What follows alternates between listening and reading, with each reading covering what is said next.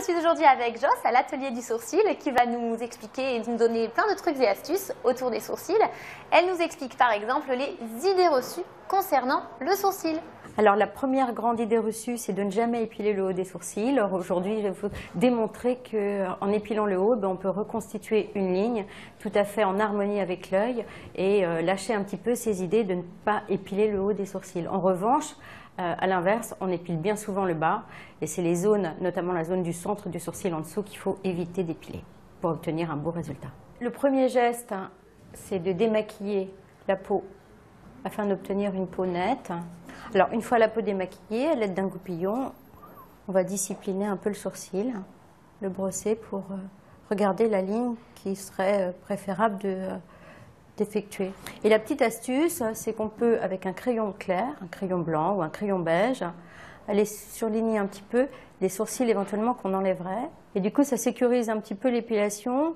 Si jamais vous avez des maladresses, a priori, vous devriez les éviter grâce à ce petit crayon. Évidemment, on évite de toucher la zone du centre.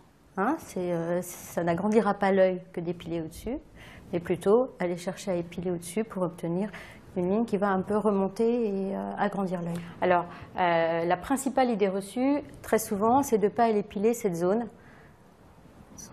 entre la, entre la tête du sourcil et la queue du sourcil. Vous avez la zone du centre. Et là, très souvent, les esthéticiennes, techniciennes ou euh, personnes elles-mêmes ont tendance à aller creuser cette forme.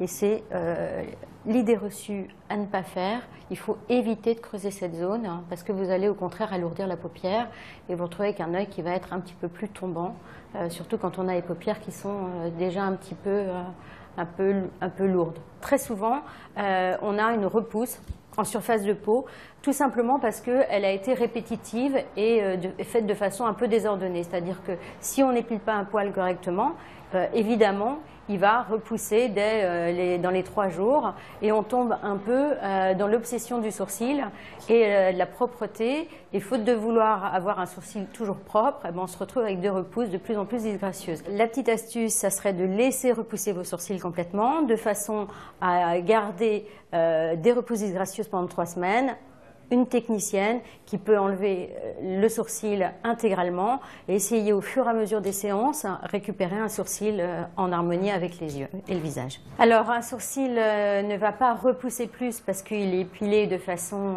répétitive. Par contre, il faut utiliser la bonne technique d'épilation pour éviter que le sourcil repousse au bout de trois jours.